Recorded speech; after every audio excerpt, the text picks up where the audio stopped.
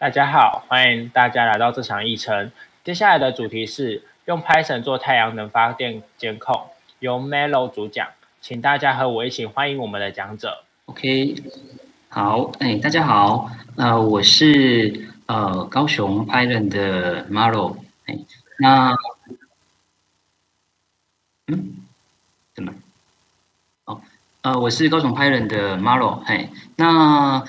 呃，就开场，顺便帮我们高雄拍人啊打个广告。如果有就是有来高雄的话，啊，欢迎来我们高雄拍人的活动，呃，就是会场来参与一下。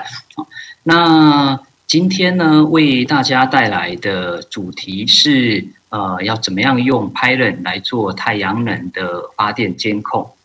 那会选这一个主题的话，最主要是因为。呃，近期我的工作的话，呃，有一大部分都环绕在这一个呃这个主题上面，这样。那既然要讲太阳能的这一个发电的监控呢，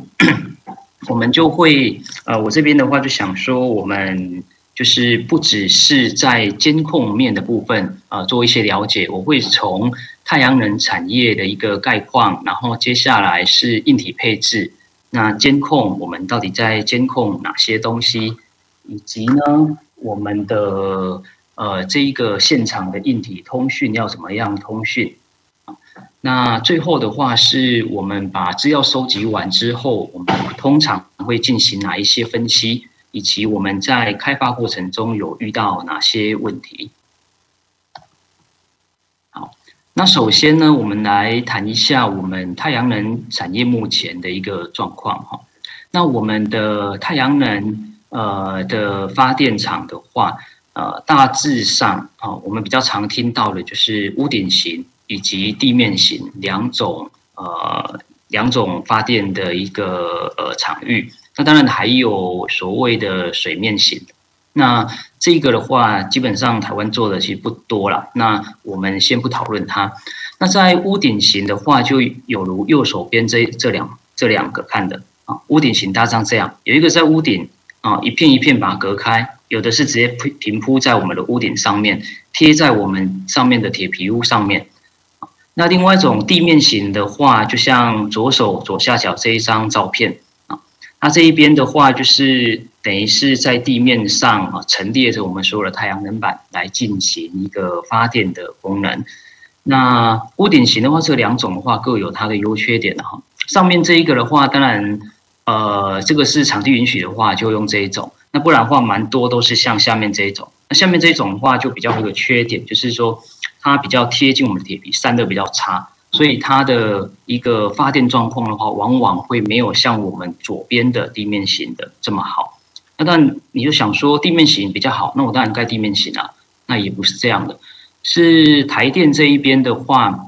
它会有一个收购电价的一些规范。那我们可以在这边看到说，屋顶型的话，嗯，总体来讲的话，它的收购电价是会比较高的。所以当然，如果说我们可以用屋顶型的话，啊，我们会得到的费率相对于地面型的话会好很多。那水面型的话也都还蛮不错的，只是水面型的施工的工法这些东西，呃，相对的都会比较呃不容易一点，因为它需要做很多浮筒，然后又有下雨，呃，它的高低水位的一些影响，所以这些都是它的影响因素。那你会想说，为什么地面型它就只有一个一 k 瓦以上，它就没有区分呢？因为一般地面型的暗场的话，它的面积都很大。所以基本上都会在一呃都会在一枚呃呃千瓦以上的一个暗场居多啦，有时候常常多到五六或十几都是有可能的。好，那接下来的话，这一边是我们，呃，消这一边的话是我们台电的这边的发电成本的部分啊，那。这边是一个参考资料了。如果您呃到这一个你查询这个项目的话，你就会看到说啊，这是台电自建的发电的一个费率。那这是它购入的一个费率。那你也看到说，太阳能光电相对于我们的呃燃煤、燃气啊，或者是水利来讲的话，它的一个成本都相对的是比较高的。哦，我按错了。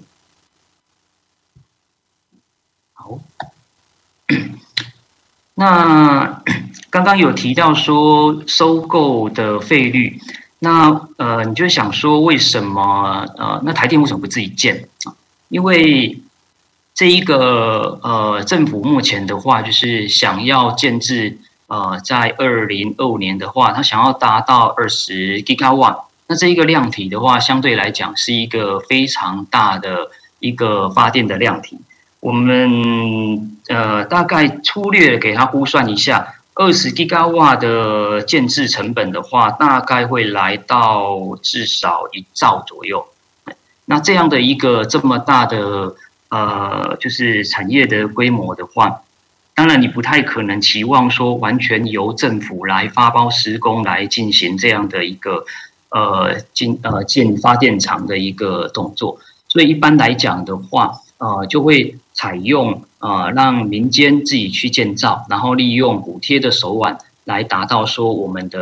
呃这个发电的转型啊，最主要是想要减少我们呃这些燃油、燃煤，然后呃火力发电的污染的部分。那呃，因为做了太阳能，那也相对的衍生出一些麻烦出来。那我们由这一张图来看，我们的电力的供需平衡的部分，我们就会发现，因为太阳能的话，它最主要的发电都是在白天，那它会有一个尖峰离峰期的一个一个这一个尖峰离峰的一个一个状况。相对于我们发火力发电的话，我们机组只要运转起来，它就是呃蛮平稳的，一直在供电哦，有点不太一样。那也因为这个样子会造成了呃，就是这个多余的电力，我们先不讨论，我们先讨论一下是它在早上的时候呢，短短的哦几个小时，它就升到假设我们真的二十吉瓦建成了，那这短短的时间内，它就涨到了二十吉瓦。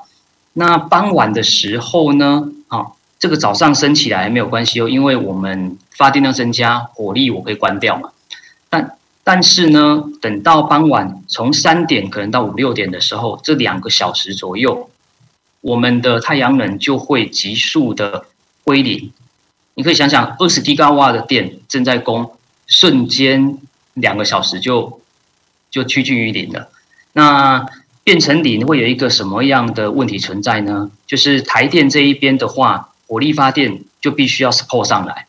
那 support 上来的时候，呃，因为台电的这种火力发电机组，呃，一般来讲啊，过往的资讯的话，大概是呃标准的话，可能至少要八个小时，它才能不 up 起来。那现在他们在努力哦，有把它提升到四个小时，甚至还要再更短。那你想，呃，四个小时未免太久吧？其实不是这样，因为火力发电的话，你可以想，呃，东西要燃烧，要达到那个温度。机组要运转起来，你还要必须要呃水蒸气推动涡轮，那这一些的话都需要一个庞大能量，才有办法去做这一个 initial 的动作，然后呃进行一个发电的动作。所以这个地方的话，就变成说衍生一个所谓的电力调度的一个呃需求出来。这个电力的调度呢，就会有这一个呃台电最近就推出一个叫做卷子的系统。这个卷池的系统呢，最主要是它初步的话是想要了解你目前的发电的概况，那最终最终它想要航向一个呃，就是伟大的航道，就是它这个规范里面有规范的每一个 inverter 都必须要受它的控制，也就是说，我如果电力太多的时候，我甚至我还可以让你停止发电或降低发电效率。那如果过高的时候呢？呃，就是说我需求比较多的时候，我再恢复你的啊发电。那或者说我的电网的一些功率因素不好的时候，我可以去调整你的功率因素来配合我的电网，让我的电的品质变好。啊，它可以，它是会想要达到这样的一个大目标。那当然这不是很容易啊，他们都还在建制。那另外一个提到的就是说多余的电力的部分。多余的电力的部分呢，呃，近几年的话都在推一个叫做储能的系统啊。那这个储能的系统的话，就是呃，比如说你有不管有没有太阳能哈，那有太阳能的话，它会更希望你再加一个储能的设备进来。那储能的设备，你就是把它想象是一个，它就是一个大电池。这一个大电池呢，在啊太阳能白天有多余电力的时候，可以往这边存；晚上的时候离峰可以由它来补足。那当然，这必须。呃，我们的储能设备也要达到一个比较大的量体，才有可能会有有有办法这个样子。啊，那这边有提供连结，会后的话，我们这个连结再啊提供给大家去观看，它有比较详细的一些介绍。那接下来是我们硬体配置的部分，太阳能厂硬体配置的部分呢，啊，这边的话比较粗略的讲啊，因为我们是概括性的介绍。呃，我们的太阳能模组经由太阳能发电发直流电进来直流的 DC 箱，然后再经过我们的太阳能的 inverter，也就是逆变器或变流器过来之后变成 AC 的电，然后再汇集到交流的配电盘这边，也许还要再转换我们的电压或没有转换，然后输入我们的公共电网来进行一个卖电的动作。那这边的话是我们的直流接线箱啊，就是从太阳能板下来之后，我们会经由一个 DC 箱，然后汇集出来之后，再往 inverter，也就是这个 inverter 这一边啊前进，来进行一个呃电力的转换，变成交流电。那交流电这一边出来之后呢，就会在经由这边的 breaker 出去，然后就往我们的。呃，这一个汇集到我们要输出电网的地方，这边的话大致上是我们的硬体配置的部分。那讲完我们的硬体配置跟产业概况，相信对我们的太阳能的部分，大概就会有一个基础的概念。那接下来我们来谈谈说，那它到底想要监控什么呢？那要监控的部分的话，这个的话是我们现场的一个啊，另外画过有设备的架构图啊。那基本上我们现场大概就会有日照计、温度计，就温度贴片，我们知道模组有没有过热，然后有逆变器的模组，然后会有数位电表，我知道总 total 的发电，然后经有一个资料收集器，把它送往我们的呃我们的那个云端伺服器，然后再以啊网页的形式后台来做一个分析跟资料的呈现。那在监控什么呢？当然就是有没有赚钱哦，这是业主最关心的事情。那谈钱伤感情，那降格调，所以我们来谈谈技术。技术的部分的话是呃，当然是第一个关心的是发电的效率。那它这边会有一个所谓的 PR 值的一个呃呃这一个发电效率的判别。这个话我们等一下在做呃分析的部分，我们会再另外提到它的公式。啊，我们只需要说发电效率，我们要知道。另外一个是设备是否损坏，比如说我们的逆变器可能会有坏掉的时候，那逆变器坏的时候，它通常会有 run call，或者说你根本就读不到它。这个时候呢，我们就会需要呃，可以远端知道这个状况，马上派人去查修。不然的话，呃，你一场比较大场的，你可能一天，也许你就是会差个几千甚至上万块啊。那这个，那但是你用人力的去巡场的话，基本上也是不切实际的，因为你的暗场遍布全台，你必须要非常多人一直现场的去巡查，所以一般都会用监控，会比较有效率一点。另外是模组是否劣化，我们的太阳能模组用久了，它一定会有变质，那甚至上面可能会有一些，呃，它上面其实也是细菌源嘛，所以它也可能会因为用久了。然后就开始有局部坏掉，然后就会发热，那造成我们的能量的转转换就会变差。接下来呢是呃线路是否正常？那这个线路是否正常的部分呢，就是会带到一个新闻哦，比如说像这个新闻的话，就会讲说，哎，我的太阳能厂那可能是因为不明原因哦，有呃有蛮常会遇到是呃老鼠去把它。呃，线路咬掉，老鼠还蛮喜欢咬这个东西，也不知道为什么。那常常咬完之后，这前阵子我们有一些暗场也是一样，经由呃老鼠咬完之后，那我们到现场看的时候，是是一个焦尸在那个地方。那烧完的火的那一个电厂的话，就是模组就呈现像这样，这有烧的比较厉害，整个都塌掉了，这蛮可怕的。好，那我们再来继续。接着的话是呃，是否有遮阴的东西？呃，会有没有遮阴？那遮阴的部分的话，可能我们比较难理解。我想说，遮一点点的话，是不是？呃，这边的话一个参考给大家看。那我们看一个比较直观的，有一个小影片，我们大概看顶多两分钟。他把呃 solar panel 就接到我们的 pump 上面去。那我们观察一下，我们遮这一个呃遮我们的太阳能板的时候，它的发电状况是不是我们平常想象的那个样子？其实你会很惊讶，跟我们想象的完全不一样。你看啊，它挡到中段的时候，它整个忽然就不发电了。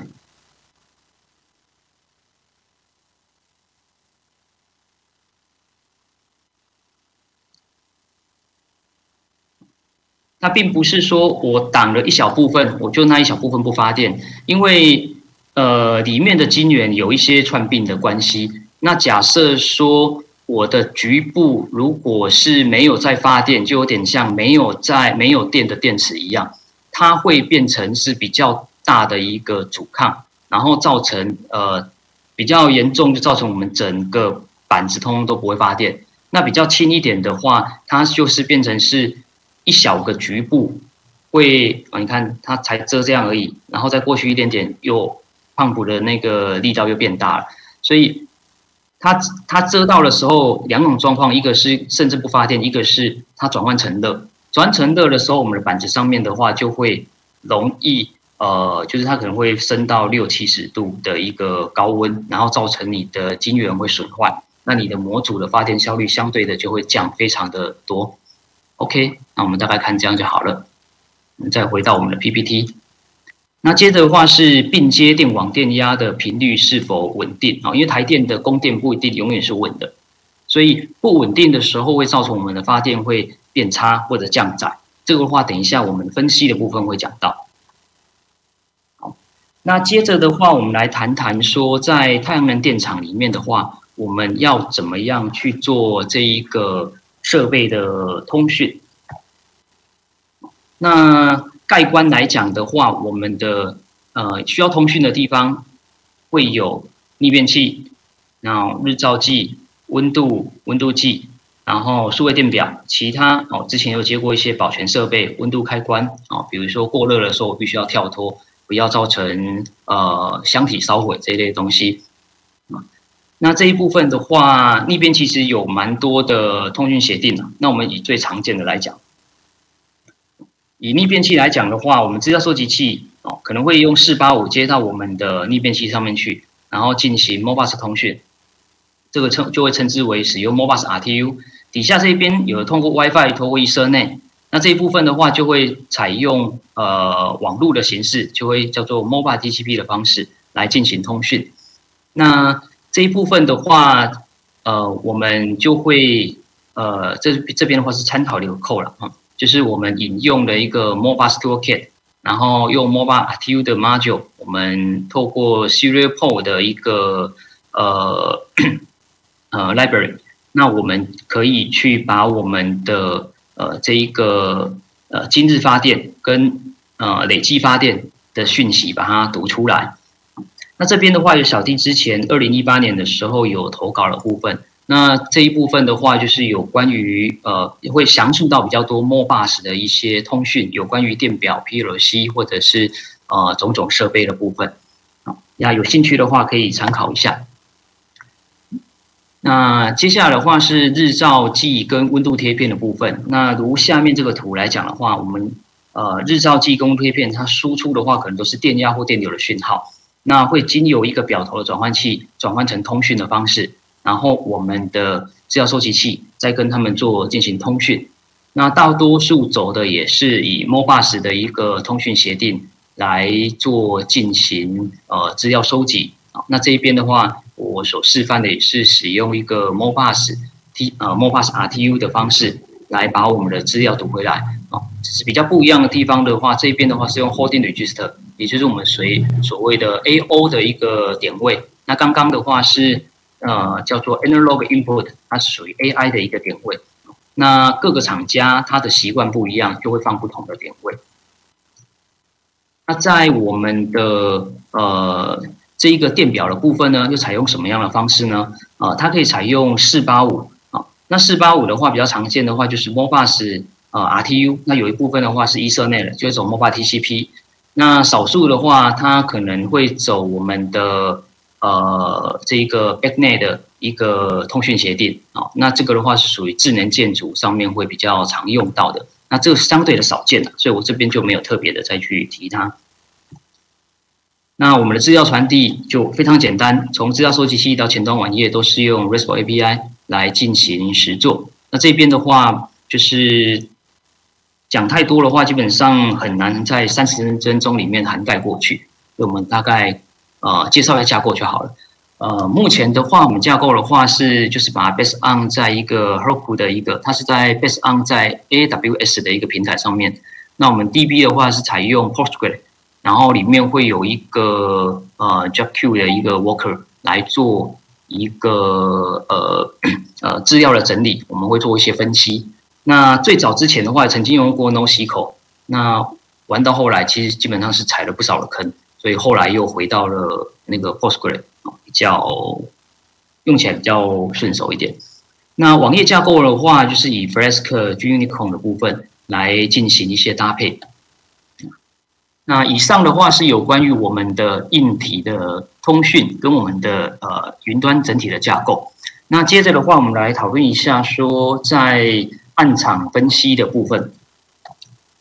暗场分析的部分的话，我们资料收集完之后呢，会把它做一个 overview 啊。可以知道说，哎，每一个厂是目前的发电状况大概怎么样，建制大概是怎么样。那第二个的话，我们比较常看的可能就是呃日发电趋势。那由这一张来看的话，哦，呃不太清楚、不太懂了，可能就说，哎，哦，这看起来好像也还蛮漂亮的啊。那其实不是这样。以这个暗场来讲的话，我们就会观察到说，哎，奇怪了，中午十一二点，它的日照应该是最好的，但发电发电却变差了。这个时候我们就去查查看。到底那一天的日照在正中午的时候是不是有阴影？哦，有变阴天的，这是有可能的。那如果没有，像这一场它是没有，那为什么会发电降低呢？我们后来查到后来的话，发现的是，呃，这一个现场因为附近是工业区，那他们中午时段的时候他们会休息，机台都停下来，停下来之后，呃，因为供电需求降低。所以用电的人变少了，我的电压就会往上飙升上来。好，那那这个时候呢，因为我的电压过高，就会造成我的 inverter 这时候会呃，因为电压过高，所以它就会降载发电，这时候发电量就会变不好。所以这就需要需要做一些处理哦，不管是由台电端，或者是呃这一个电压可能会请台电去做一些调整来。让我们的发电的效率会更好一些。那另外的话，可能就是月发电的一个趋势，我们可以了解一下，说目前发电状况，或者是年啊整年的每个月发电。好，那接下来的分析呢，是这个的话是等于是每一个 inverter 就是逆变器，每个 unit 我们都把它拉出来，来确认一下日照跟我的。这一个呃逆变器每一台的发电的呃就是每 k 瓦的度数啊，会发多少的电？那这张图的话，如果它是出现在屋顶型，那就蛮正常的，因为屋顶型的话就是会有南北向的问题，它就会大家的发电会有高有低。但是如果地面型的话，通常都这个曲线就是有问题的，因为我地面型大概面向都一样。所以，如果这个状况出现的时候，代表这个比较低的，就是有问题的，这是我们会去特别去抓的部分。那发电效率的话，另外一个参考因因素的话，就是所谓的 PR 值。PR 值的话，一般来讲，我们大概会希望它在八十以上会是比较好。但有人说七十五，那那越高的话，当然是越好。那这一部分的话，它会有一个在 IEC 六二四四六或者是六一七二四里面，它会有一个 performance ratio 的一个比例。那时间的话，因为比较少啊，所以我们大上就带过。它就是呃，只是要把我们的现场发电跟我的参考值，也是日照值，来做一个相处的动作，来了解说我的发电量跟我的日照值有没有匹配到。那接下来是进阶的发电分析。发电分析的部分的话，以这个来讲的话，就是刚刚讲的所谓的屋顶型的发电。屋顶型发电的时候，因为南北向，你就会发现说，哎，这个是这个是呃北向的，它就比较差一点；南向的，它也许比较好一点。如果这样的差别，那我们切换到另外一个场次来讲的话，这个的话，我们是把数据把它视觉化哦。那从我们比较容易拉抓问题，像这一场就比较乱，因为它的现场已经年久失修了。对比看，你看上面这两个 inverter 已经没发电，下面这一边的话，有一些 inverter 有时候有问题，有时候出没问题啊，所以它这个就是断断续续的啊，就代表说我们一二三四，然后像五这几台 inverter 可能都需要去调查看看是不是发电状况比较差一点。那当然它也会有所谓的 error code 回来，所以我们可以经由去分析它的一个 PR 值来进行说。呃，那个现场是否日照计需要做一些调教？因为 PR 值最高就是一百而已。好，时间还有一些。那接着的话，呃，另外的话，刚才是过高。那这边的话是发电量不足啊，就是我们会去查询说我们整场平均是多少。但是你你单一台发出来的话，如果比较低，那就代表有问题。这个话就必须要特别捞出来来查看一下。那。这一边的话，我们的这个 PP 到这边，直呃，有人问说，直接被日晒造成的温度上升，跟被遮罩造成的发电转热，哪个太阳能板的损害可能比较大？呃，如果遮阴的部分的话，呃，应该说遮阴或者说有脏污遮到的话，呃，我们在观察或者说有一些研究单位调查出来的。它会单一个点，它会单一个点就上升非常的多啊，它可能有时候可能会飙到六七十几度，跟我们平常正常在发电的时候，它会升到大概五六十度的呃板温不太一样。那当然单一个点温度越高的话，对你的晶圆的寿命来讲，就是一定会越差这样。所以有遮阴的话，的确会造成蛮大的影响，会比较大一点。那再来另外一个是刚刚议程中展示的影片，太阳能板在特定角度被遮蔽就很影响它的效率。这是在完全遮蔽的情况下才会发生，还是其实像台湾容易阴天或多云的情况下就会严重影响？哦，刚刚是为了要讲遮阴的问题。那如果是整片的遮阴，它其实并不会。呃，有某一个晶圆完全呃没有没有日照，造成单一颗晶圆的这一个阻值上升，然后它就会变成是呃，应该说一个阻值上升的时候，一一来是所有的电能都会在那一个晶圆上面把电能消耗掉，那就会造成它温度上升，供电就会下降。那如果是非常 smooth，整片板子通通都往下降。就是日照都平均的往下的话，基本上是呃不太会有这样的发热的问题发生的。所以刚刚那个影片的话，其实它最主要展示的是，我如果遮局部的话，哦，遮最下面跟遮中间斜着遮，那随着它的晶圆的呃配置摆设的那一个串接不一样，那会有不同的效果。所以这边已经算是比较微观一点的，这个比较多都是由研究单位他们去推、去研究出来，然后做分析的。哎，那其实，在我们暗场真的在看的时候，并不会把它看到这么的细。OK，好，那由于时间的关系，这场议程到此结束，感谢大家的参与。